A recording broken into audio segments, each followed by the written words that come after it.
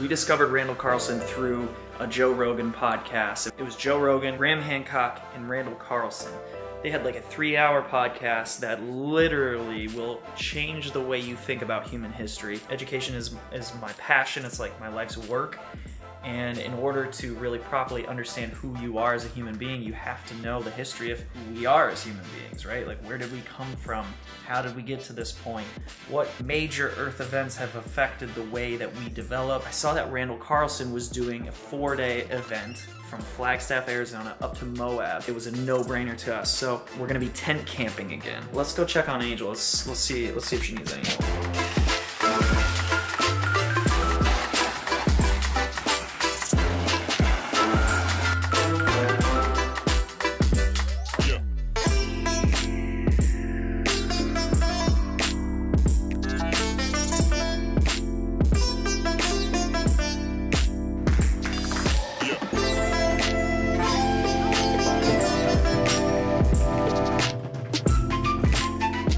Definitely excited to give this bad boy a go. We are all packed up. Might look like chaos back in here, but it's organized chaos. We know where things are.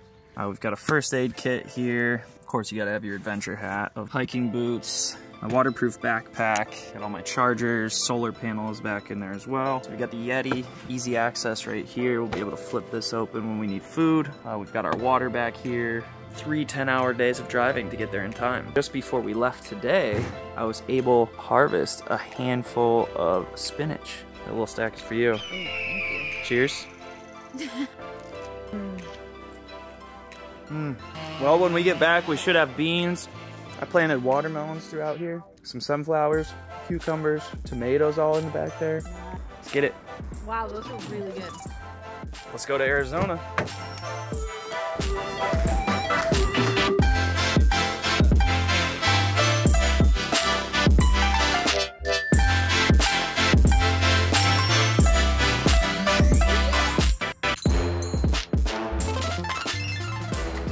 You like Kansas so far, Angel? Beautiful.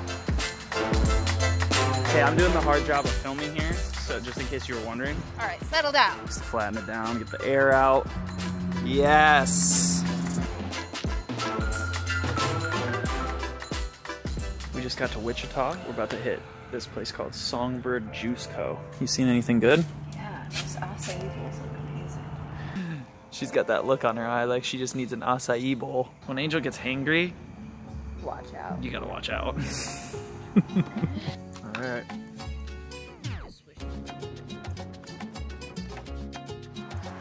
We made it to the great state of Texas. Yee!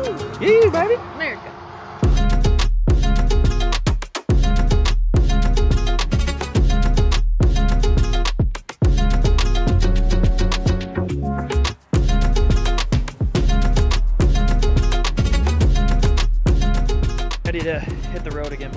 Some cacao. I've got the machine hooked up to this outlet back here behind the gas can.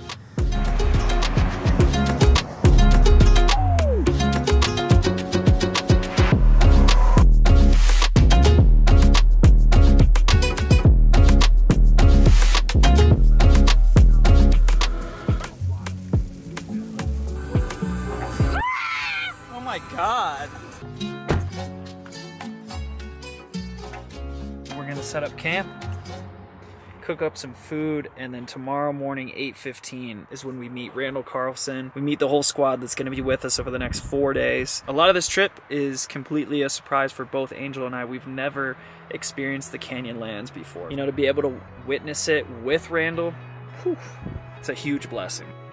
After packing up camp, Angel and I went into town to meet Randall for the first time and the entire team that was about to be with us for the next four days.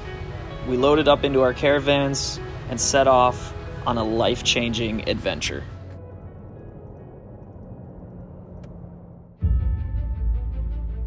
There's a couple of natural bridges and rock arches uh-huh. that were probably created in less than a week.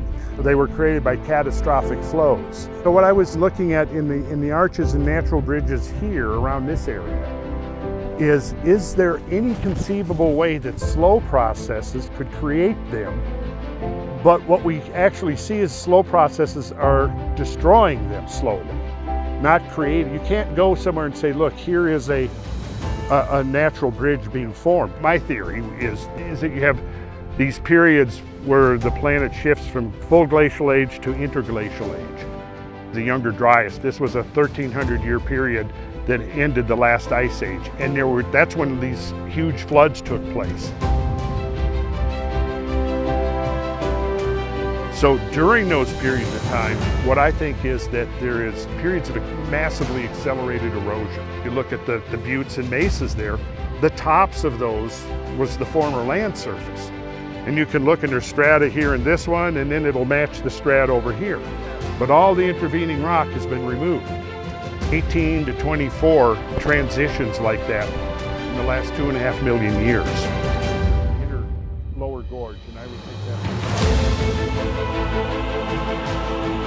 I think that the erosion of rock has taken place over more like episodes where it's really accelerated and concentrated. Then the planet settles into a new climatic regime, things kind of stabilize, and then it's slow erosion takes over. What that does is it shows us that the history of this planet is really dynamic. And the other thing is where it tends to get controversial is when you start proposing that some of these vastly accelerated events have happened in recent geological times, not millions of years ago, but thousands of years ago. So when you start proposing the, the tempo of these kinds of events, that seems to be a lot quicker. Don't lose the sense of wonder about this whole miracle that's unfolding, that's life on this planet, and where it's going. And you know, where do we fit in? Do, is there something that we're here to do? Some, some, you know, goal within the natural order that we humans are supposed to somehow fulfill? And I tend to think that maybe there is. And maybe what it turns out to be is that we're the guardians of this planet because we're the only species that can. At this point, you know, if, if something is out there that could devastate the ecosystem of the entire planet, and we know it, and we know that it's within our technological grasp to not allow that to happen. Do we allow it to happen or do we intervene? Literally every month, something is flying by in near Earth space, sometimes only enough to cause a minor catastrophe, but other times a global catastrophe. Now, if we discover that there's something that has targeting Earth, do we intervene? Is it our moral duty to intervene?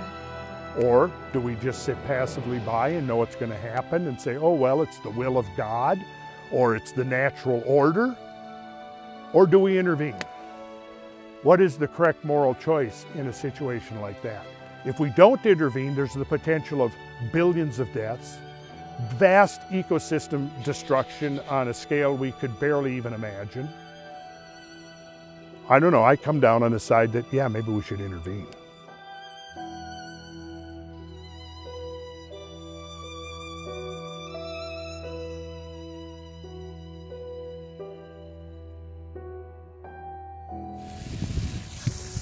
last night. That was an amazing conversation by the fire. Angel and I are cooking a little bit of breakfast. We're here in Mexican Hat. Angel's cooking up some vegan eggs. I got some real eggs. Whose looks better? Actually, don't answer that. You may remember our friends Cam and Elle. We originally planted the first redwood trees with them, actually, up north in California. Cam was talking about getting his own truck. He did get his own truck and he got an Airstream. This is my first time checking this out. This is so sick. I'm so happy for him. Cam's Ram, baby. Dude, look at this. Nice to see you, bro. Look at this beast. Medieval maps of the Holy Land. The secret legacy of Jesus. Ooh, there we go. All right, so where are we off to? Do you guys have any plans? Yeah, you guys are talking about going north a little bit. We can. Yeah, Yeah, there's Valley of the Gods. I'm down, Um, with, I'm down with that because we're going north anyways after this. yeah.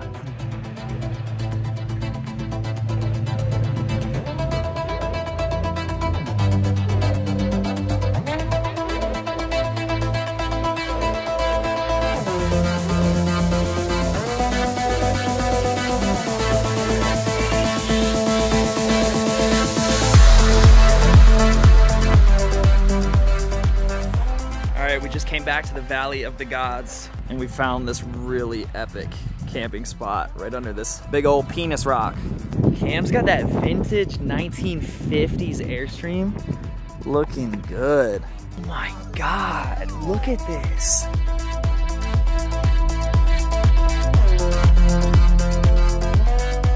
So we got a nice little fire pit here.